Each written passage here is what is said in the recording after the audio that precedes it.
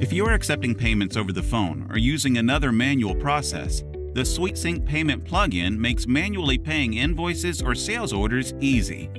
The plugin can use a new card, a saved card, or a bank account. Let's walk through a couple of examples.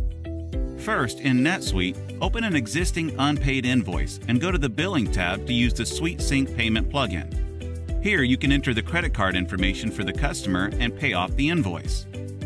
If you click on the Save Card for Future Use button, the card information saves in Stripe. If the customer saves a card in another checkout system or billing portal, the card appears in this drop-down menu. If you enter an invalid credit card number or a failing credit card, SuiteSync instantly gives detailed information about what went wrong. If Stripe determines a payment is risky, SuiteSync displays a warning here. Additionally, you can completely customize Stripe's fraud rules to your business. After you submit a successful payment, SuiteSync creates a payment and applies it to the invoice. In the Related Records tab, you can see the payment post to the undeposited funds account. The payment is later deposited automatically.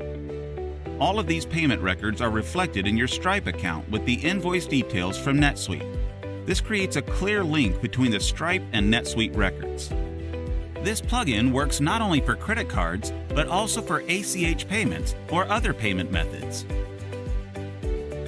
You can use this payment plugin for sales orders with or without an authorization step.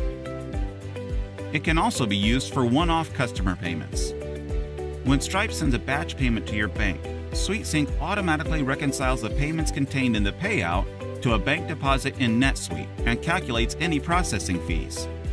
The manual process of matching individual transactions to a bank deposit, calculating fees, and handling currency conversion disappears.